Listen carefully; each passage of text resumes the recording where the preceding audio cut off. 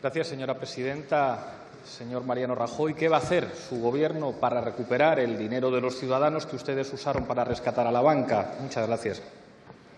Muchas gracias, señor presidente. Muchas gracias, eh, señor Iglesias. Cuando llegamos al Gobierno, final del año 2011-2012, España vivía, como recordaba ahora, la mayor crisis económica en décadas. Hubo que tomar decisiones difíciles, hacer reformas, controlar el gasto que estaba desbocado y una de las reformas más importantes fue la reforma financiera.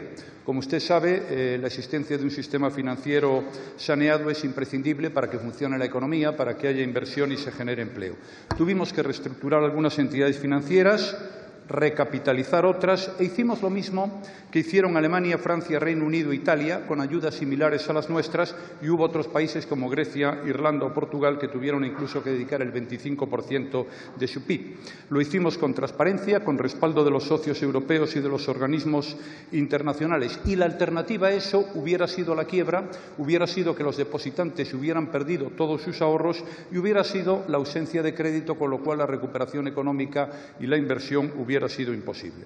Por suerte, gracias a esas decisiones que tomaron otros muchos países, España no quebró, no necesitamos del rescate, los depositantes conservaron su dinero, el crédito empezó a fluir, comenzó la inversión, el consumo, hemos creado muchos puestos de trabajo y ya llevamos cuatro años de crecimiento económico.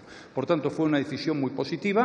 Ahora estamos pendientes de cuando se produzca la privatización de lo que todavía es banca nacionalizada y las ventas del Saret para ir recuperando algunos de los recursos que hemos puesto para sanear el sistema financiero español. Gracias.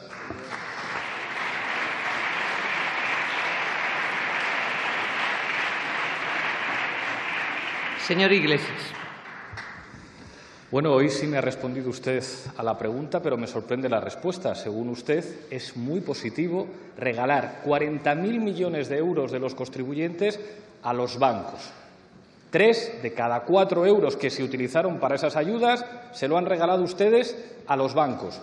Ustedes saben lo que significa esto para muchas familias españolas a las que los bancos no les perdonan sus deudas, a las que los bancos incluso les han desahuciado de sus viviendas. Permítame, porque usted ha hablado de 2012, recordar algunas cosas que ustedes dijeron. Usted afirmó aquí, en sede parlamentaria, el 13 de junio de 2012, cito literal, se trata de un crédito que va a devolver la banca. El señor de Guindos, que hoy no nos complace con su presencia, afirmó Sí nos complace con su presencia. No le había visto, señor de Guindos. Afirmó usted, señor de Guindos, aquel mismo 13 de junio, no tendrá coste para los ciudadanos.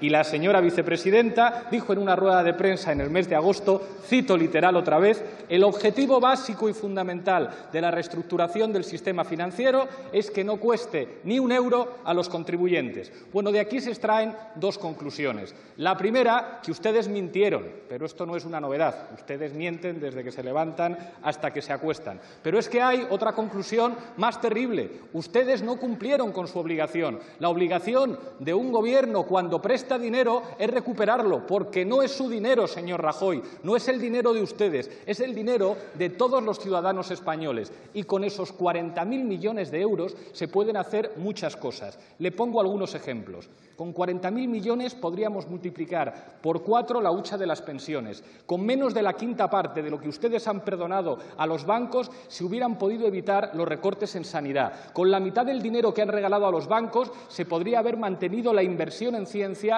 entre 2009 y 2016. Señor Mariano Rajoy, ustedes no solamente han mentido, ustedes han demostrado ser unos incompetentes.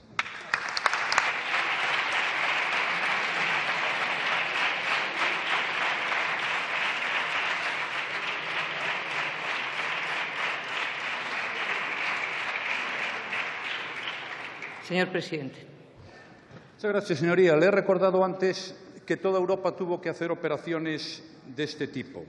Cuando nosotros llegamos al Gobierno, ya el Gobierno anterior había eh, dado ayudas por valor de 15.617 millones de euros. La única persona en Europa y probablemente en el mundo que entiende que esto no era necesario hacerlo era usted. Lo que pasa es que con sus tesis hubiera quebrado el sistema financiero español.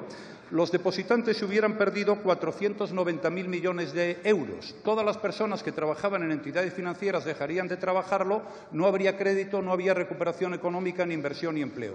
Conviene estudiarse bien los temas porque gobernar es muy difícil y hacer menos demagogia de la que hace usted. Muchas gracias.